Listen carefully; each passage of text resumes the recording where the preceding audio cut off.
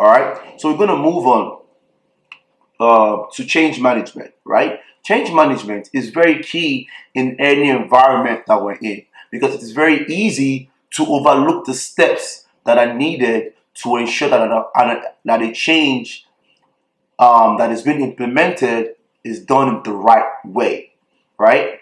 Um, before a change um, can get to the level when it's being pushed to production, there are various steps that are taken, right? One is to make sure that that change is requested, right? When a change is requested, somebody has to review that change to ensure that that request is a valid request, right?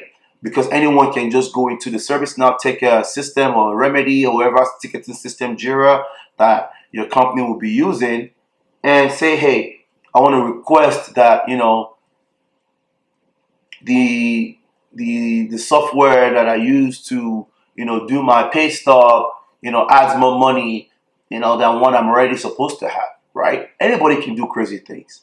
I'm sure you guys heard about the, the issue in Wells Fargo, you know, a few years ago, where users in the companies were opening, up opening accounts and paying themselves off, right? That environment was based on a lack of appropriate SOD implementation, right?